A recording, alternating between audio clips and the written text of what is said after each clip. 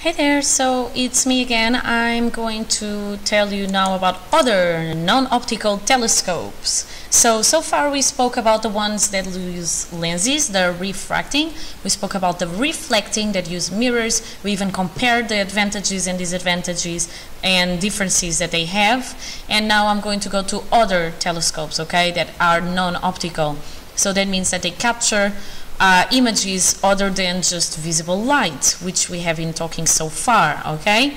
So this is the same nebula, the Crab Nebula, and this is at different wavelengths. So you have radio waves, infrared, the visible light, high energy X-ray, low energy X-ray, and ultraviolet radiation. And maybe what you can see from this image is that some things that you would not be able to look and to notice from the visible light image are going to show in the other wavelengths, okay?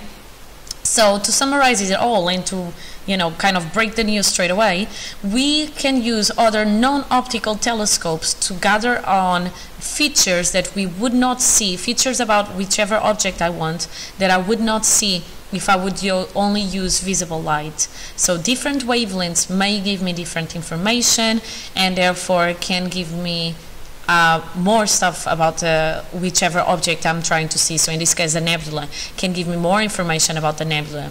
Maybe I didn't see there is a huge X-ray emission at the center from this visible light image, but here the X-ray image does show that, okay? So different telescopes, different wavelengths will show you different things and then it allows us to study whatever we want a little bit further, okay? So non-optical telescopes, so this is uh, one of the images that we have, through the very fam famous one, most of these images that we see and that we look, they are actually not just visible light images, they are composites. So it means that are images that have more just one wavelength showing. This one, for example, of the uh, Whirlpool galaxy has ultraviolet, infrared, and visible light. And it is showing me, for example, places where they are quite hot. Maybe it's places where stars are forming at the moment, or maybe there are uh, places where there is an event at the moment uh, where there is a lot of ultra infrared radiation being given out okay so I can get information from this image that I wouldn't get if I would only have the visible light Another example, this is the Milky Way in infrared. You need to imagine this image, this side of the image, and this side to be connected, okay? So this is an actual 360 image of the Milky Way um, galaxy, okay?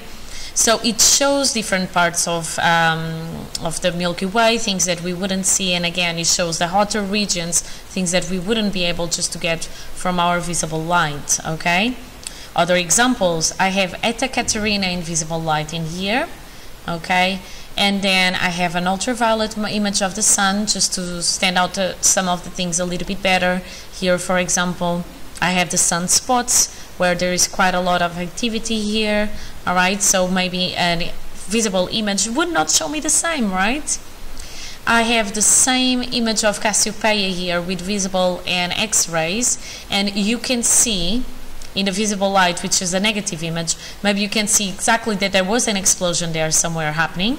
Okay, but on the other hand, the X-ray ima image is going to show me that I have some gas around that must be temp uh, at temperatures of about 10 million Kelvin or higher.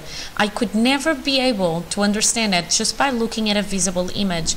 But here, because these colors are being captured, they need to me to have a minimum of 10 million Kelvin of temperature. Okay, so as I told you already, imaging at different wavelengths can make different features stand out in the same part of the sky and therefore I can get more information about whichever object I am looking for. Now there, I'm going to show you three different images of the supernova, uh, uh, supernova remains, okay? They were taken by three different telescopes or observatories. So that's the first one. And in here, you can clearly see one big part here, one supernova, two, and maybe you can see that there's something in here, but you don't quite know what it is, right? However, if you go to another X-ray image, you can see that the first um, supernova that you couldn't see, or the last uh, one actually, is now more evident. So maybe, well, the first wavelength would not show me that I had a supernova in there.